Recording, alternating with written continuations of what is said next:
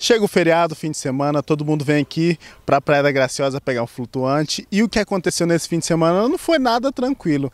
É que duas mulheres começaram a brigar dentro de um desses flutuantes, teve porrada, puxão de cabelo, tapa, e a polícia teve que ser acionada para poder acalmar os ânimos. Acompanhem as imagens que foram recebidas pela nossa equipe.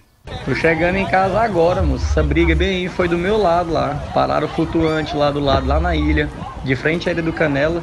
De repente, dentro desse flutuante aí, moço, umas mulheres começou a brigar, moço, e foi porrada pra cima e pra baixo, filho, jogando cadeira pra cima, cadeira dentro d'água.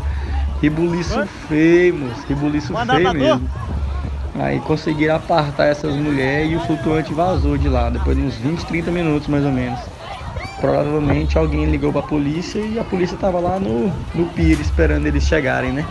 Aí deu nisso daí, mas a briga começou lá na, lá na ilha. O rebuliço foi grande no flutuante. Era mulher atracada uma na outra, fole grande, ah, Maria.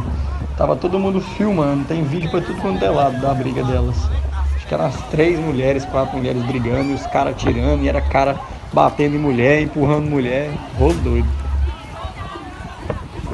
Essa briga aí aconteceu próximo à Ilha do Canela, no meio do lago, e a polícia estava aqui para aguardar o pessoal chegar. Com imagens de Megnaldo Santos, Matheus Mourão, para o Povo na TV.